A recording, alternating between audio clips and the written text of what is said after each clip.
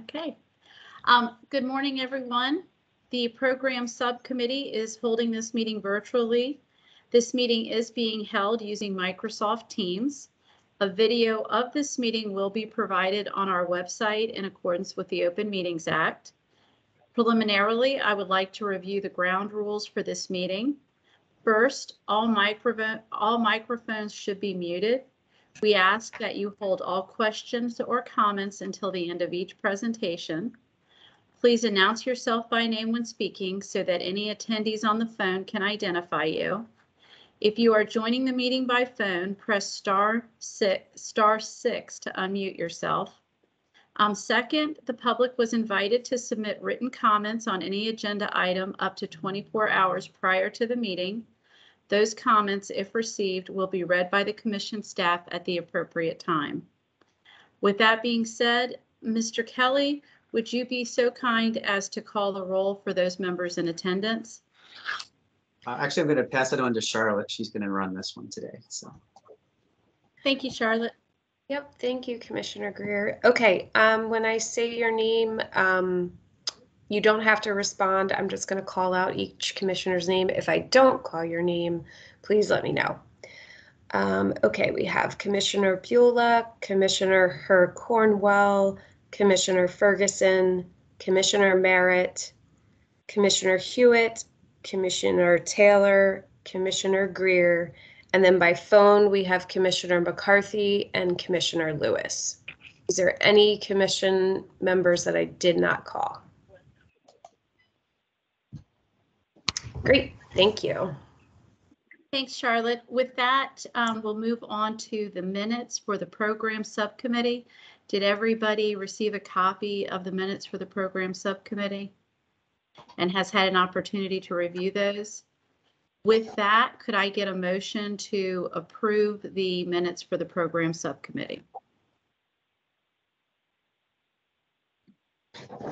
So moved. Commissioner you, Ferguson. Thank you, Commissioner Ferguson. Could I get a second? Second, Commissioner Hewitt. Thank you, Commissioner Hewitt. Um, all those in favor signify by saying aye. Aye. Aye. Aye. Are there any opposed? Any abstentions? So the minutes are approved.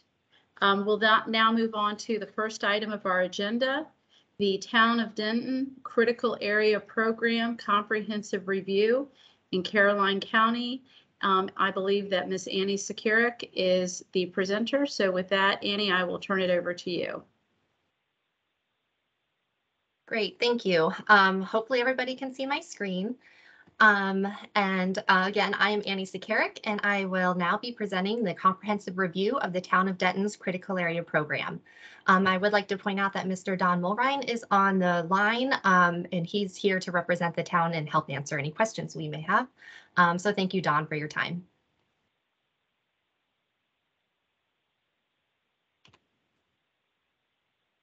Okay, there we go.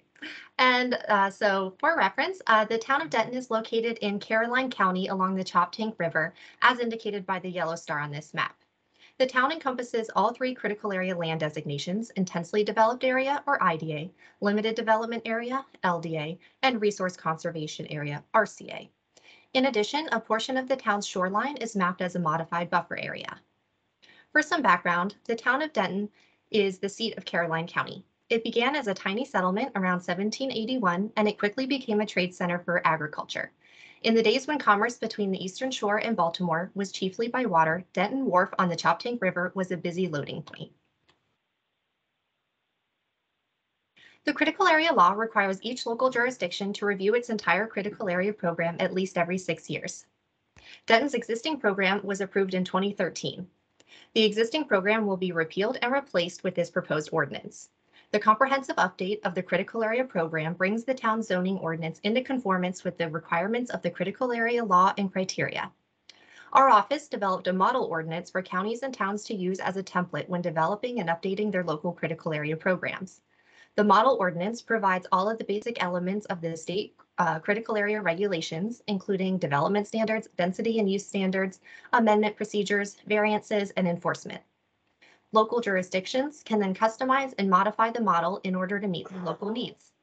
However, it- however, any proposed alternative standards must be at least as effective as the state statute and regulations.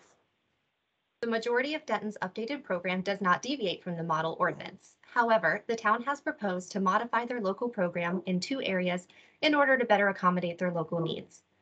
Both modifications are similar to language that the commission has previously approved in other programs. So the two modifications are outlined on page two of the staff report. The first modification is an opt-in provision that allows non-water dependent structures on piers for commercial projects in the IDA and for small-scale renewable energy systems on piers in the critical area. This provision includes all of the applicable standards and restrictions found in the non-water dependent projects chapter of COMAR. Then, the town elected to modify their growth allocation standards to allow new IDA to be less than 20 acres and to be located non-adjacent to existing LDA or other IDA.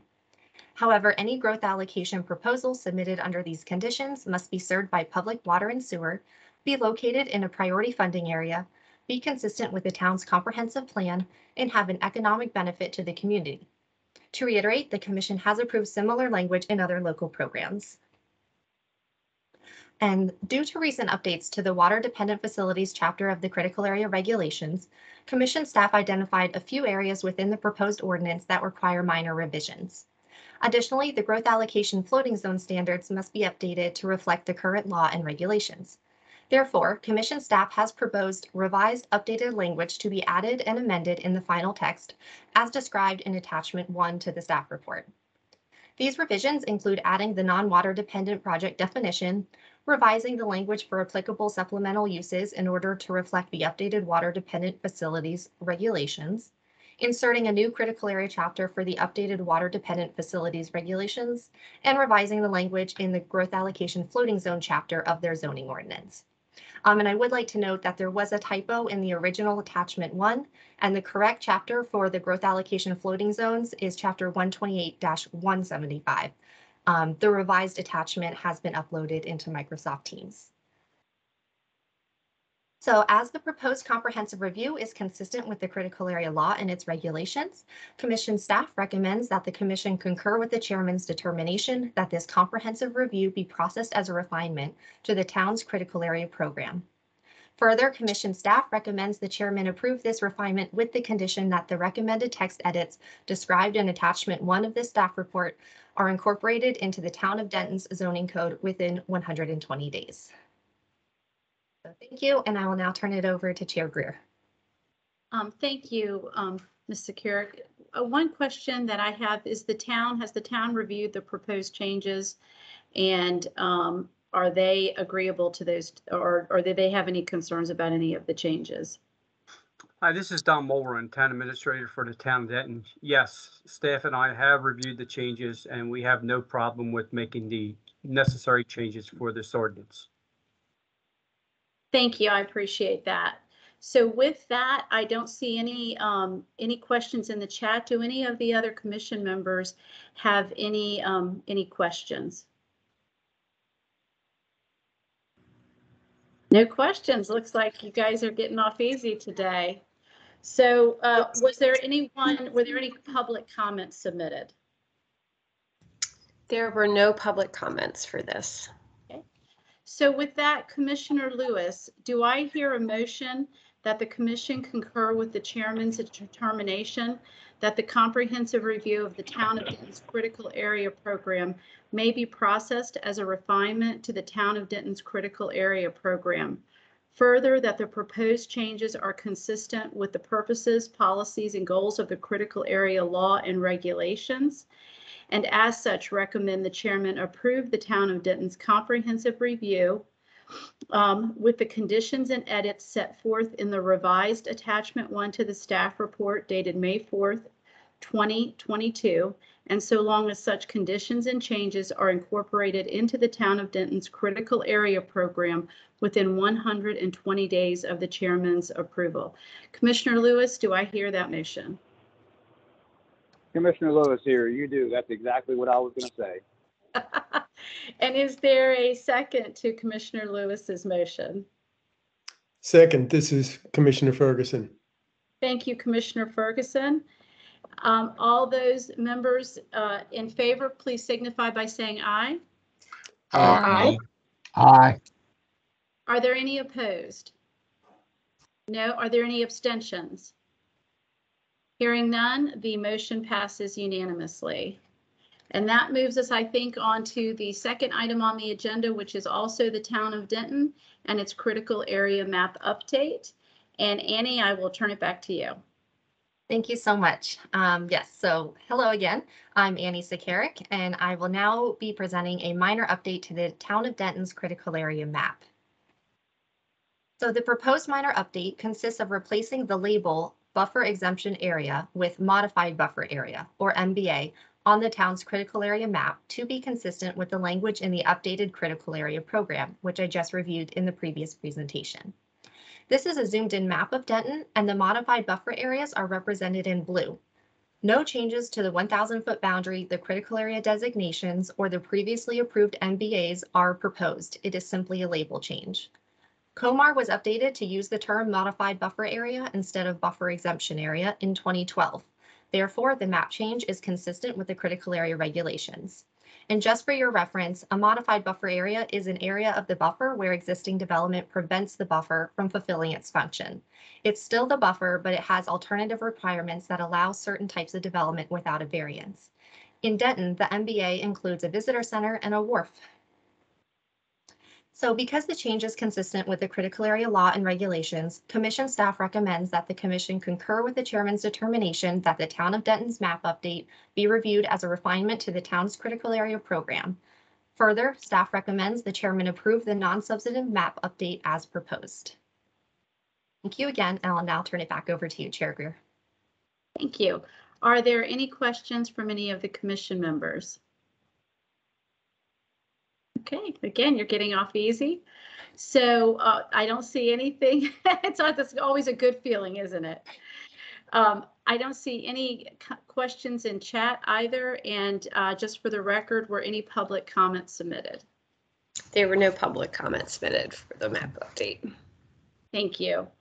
And so that brings us, I guess, to the motion. Commissioner Lewis, do I hear a motion that the commission concur with the chairman's determination that the town of Denton's map update may, re- may be reviewed as a refinement to the town of Denton's critical area program?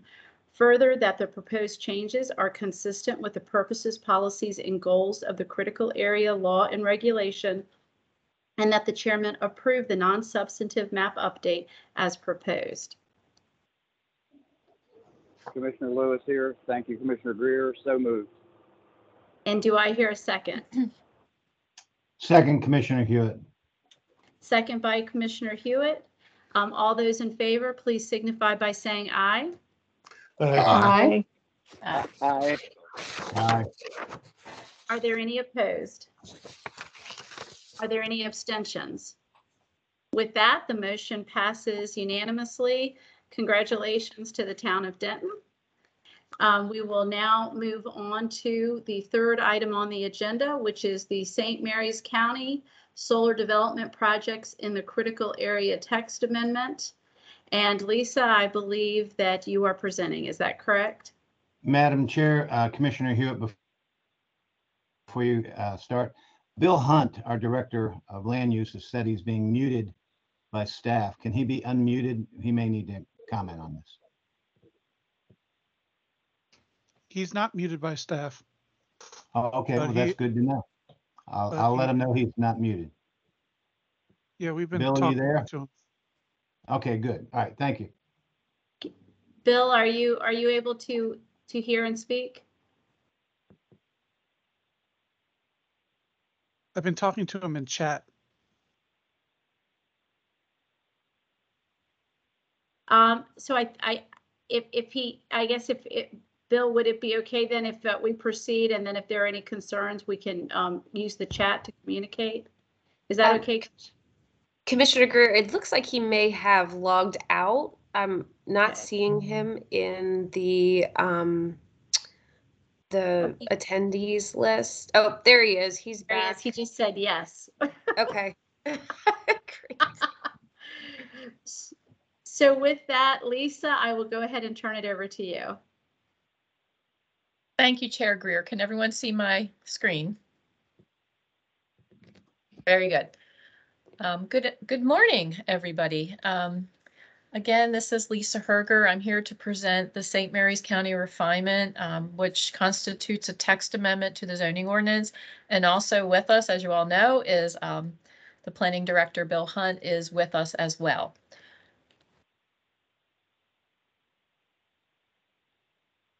Okay. Working on advancing the slide. Hold on, guys. Okay. So on March 1st of 2022, the county commissioners approved ordinance 2022-06, which constituted several updates to the ordinance that had to do with solar energy systems. The county subsequently forwarded that approval to Chairman Deegan, who reviewed the changes and determined that the changes could be processed as a refinement to the county's program on April 18th. And then today, we're seeking the commission's consideration of a concurrence with the chair's determination. So a quick review of some of the things that the county did in the ordinance include the following definitions that you see on your screen. So they added um, a definition for farmland of statewide important soils, um, solar commercial, industrial, institutional accessory, solar community, solar residential or agricultural accessory, and solar utility scale. They also uh, deleted and replaced the definition of prime agricultural soils. And now they allow solar major and solar minor, minor as permitted uses throughout the code. And that would include the three critical area designations of IDA, intensely developed areas, limited development areas, and resource conservation areas. And finally, they amended parking standards and loading space standards. So in reviewing the refinement, we determined that um, the definitions that are both in our regulations and COMAR 270114, which is the chapter on renewable energy generating systems, which we just recently approved. Um, the uh, definitions are consistent with that chapter. And also, um, the county code requires that both major and minor solar projects must be consistent with COMAR 27 subtitle 01, which includes chapter 14, the renewable energy systems chapter, and COMAR 2702 or subtitle 02, which includes processes for local review should a local uh, project come in. So today we are, the staff's recommendation is that the commission concur with the chairman's determination that this text amendment can be processed as a refinement to the county's program. And we further recommend that the chairman approve the text amendment as proposed. So with that, I'm going to turn it back over to Chair Greer. Thank you. Are there any um, questions? I don't see any questions in the chat. Uh, before we talk to Mr. Hunt, are there any questions from commission members? Uh, Commissioner Hewitt, I, I, I couldn't hear any of it. I got kicked out for the whole thing. So whatever, Lisa, I'm supporting it. I'm sorry I didn't get to hear you. Whatever's going on, Bob, it's not good. Uh, this is Commissioner Taylor. I do have a question about prime agricultural soils and how the new definition compares to the original and why they changed that. Yes, I'm going to turn that over to Mr. Hunt for a response. Bill, you might have to type it in the chat. Yeah, we, we still can't hear you, so if you can type it in, please.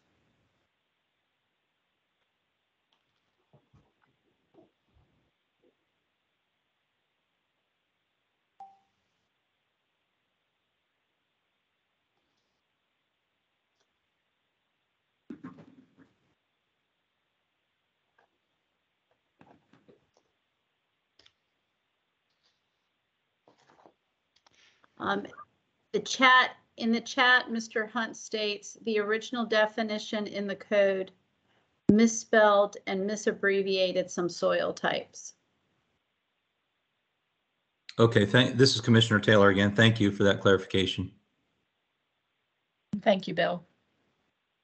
Um, Bill, is there any other information that you would like to share with the commission?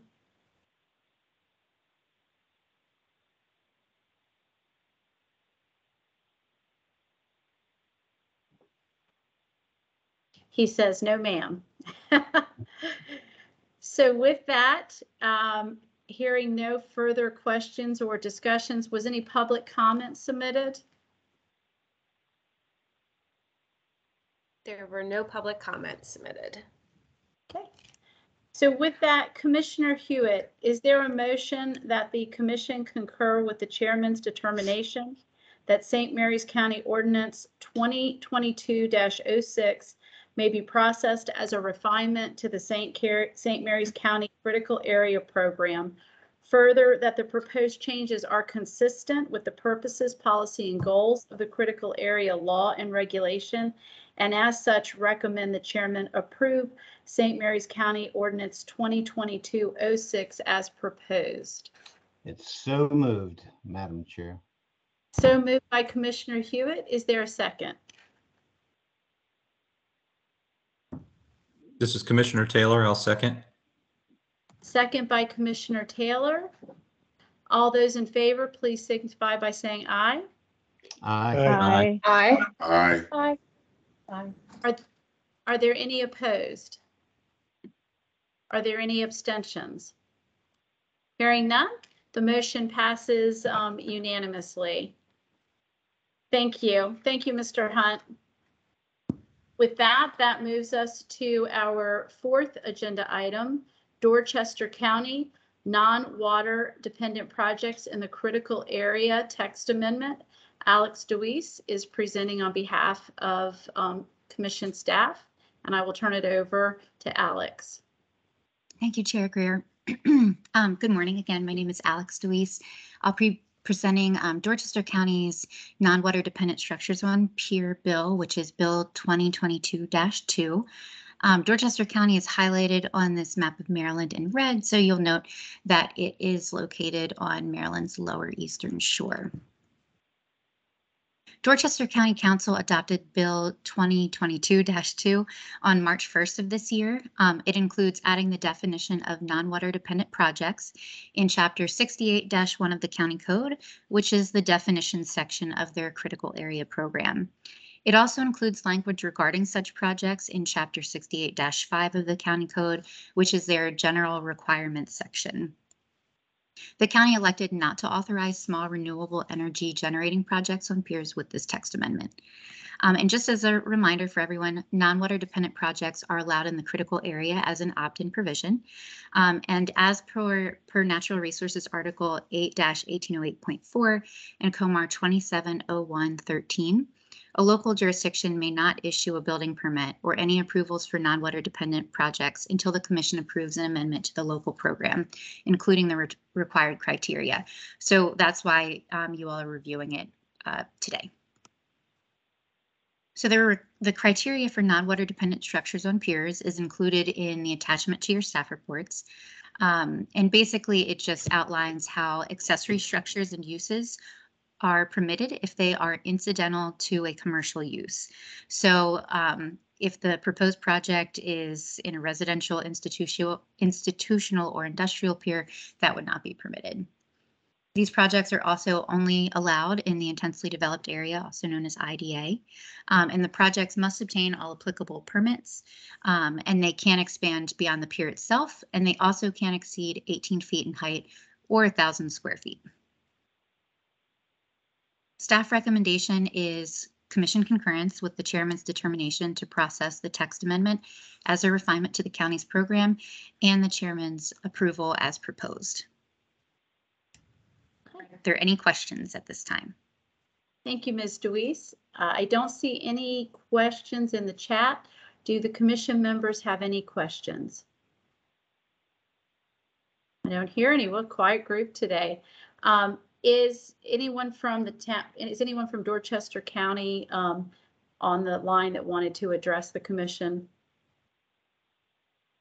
I don't believe they were joining us today, but I could be wrong.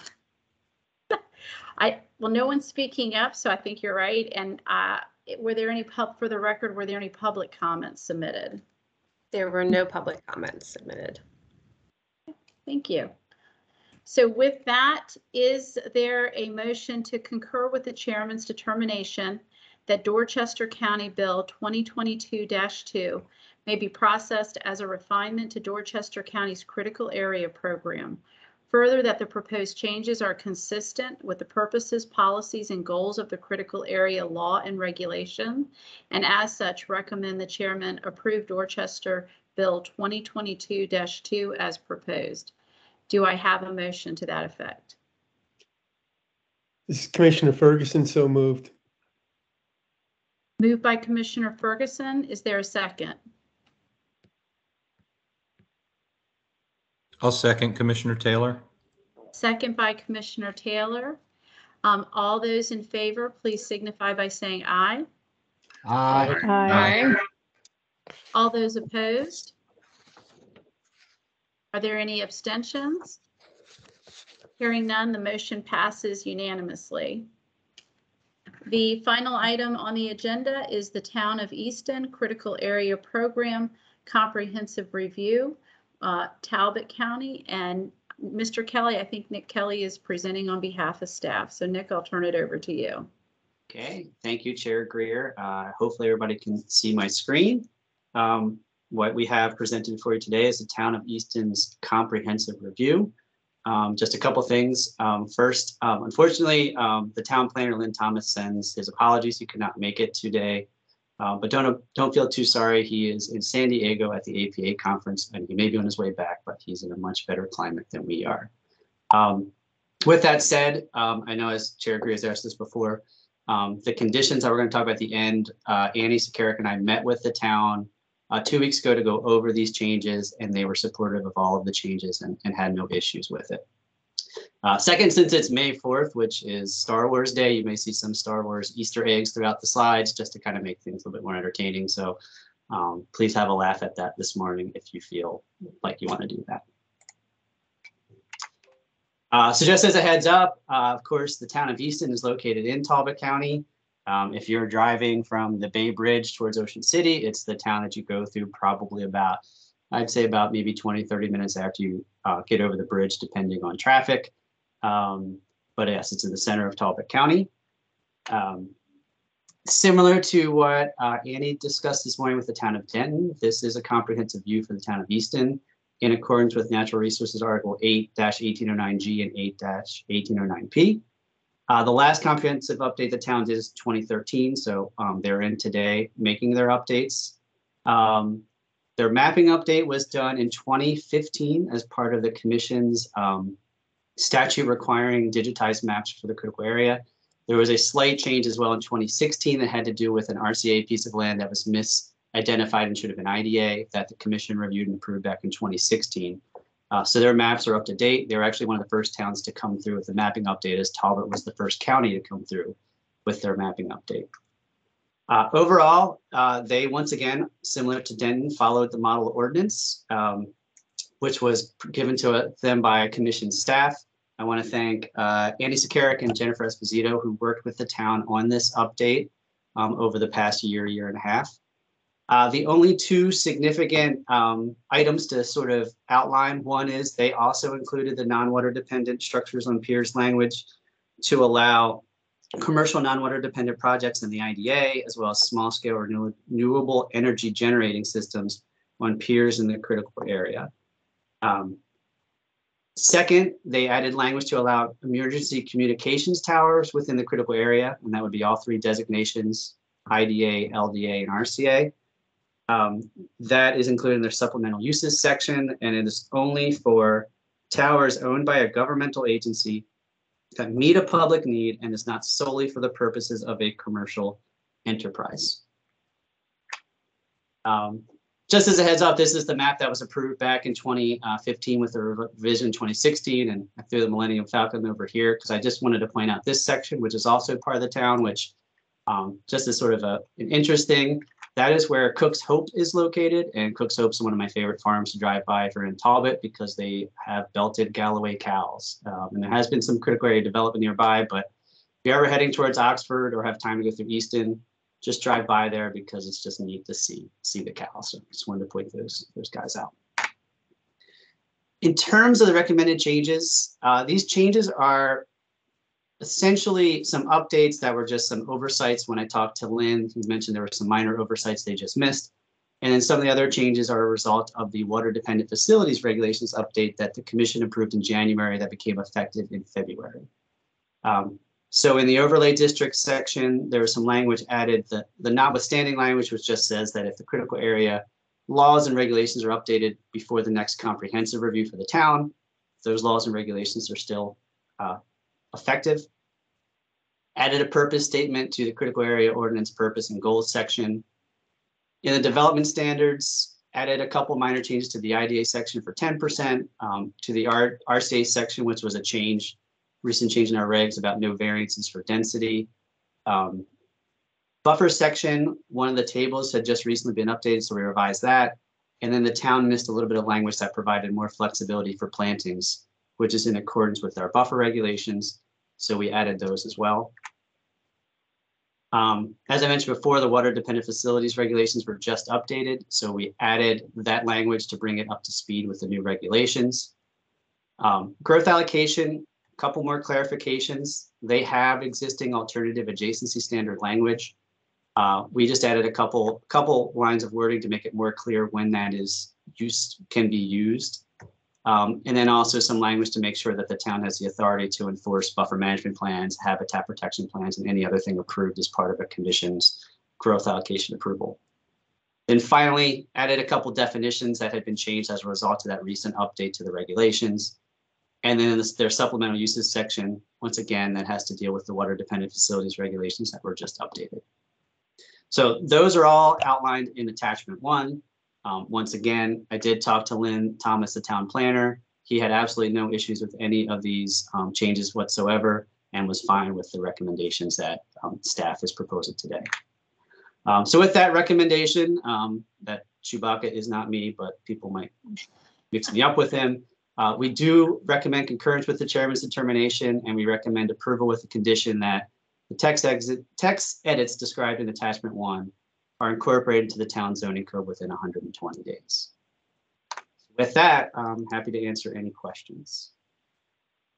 Thank, thanks, Nick. Are there any questions from the commission members for Nick? Okay. Moving right along then, um, were there any co- public comments submitted? Not that There were I'm, no public comments submitted. Okay, so uh, with that, then is there a motion, Commissioner McCarthy, um, that the commission concur with the chairman's determination that the comprehensive review of the town of Easton's critical area program may be processed as a refinement to the town of Easton's critical area program. Further, that the proposed changes are consistent with the purposes, policy, and goals of the critical area law and regulation, and as such, recommend the chairman approve the town of Easton's comprehensive review with the conditions and edits set forth in in attachment one to the revised staff report dated May 4th, 2022.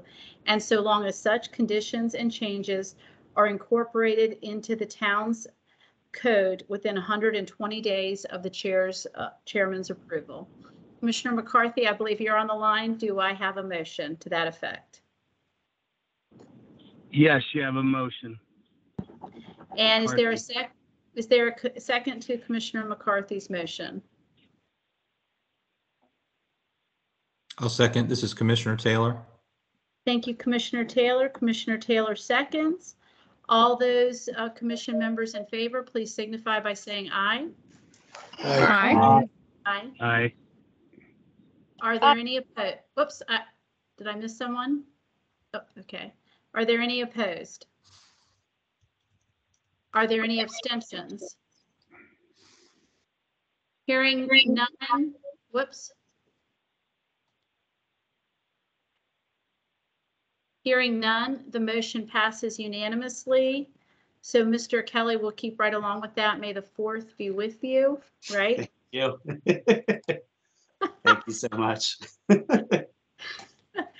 And I think that concludes the business of the program um, subcommittee. I see, um, I see Ms. Chairman Deegan um, on the line. How are you? And unless there is something for the good of the order, I think uh, we are adjourned until 1 o'clock. Is that correct? That is correct. Okay. Well, with that, we'll conclude the program subcommittee meeting and see everybody at 1 o'clock. Thank you. Thank you, guys. Thank you. Thank you all. Bye.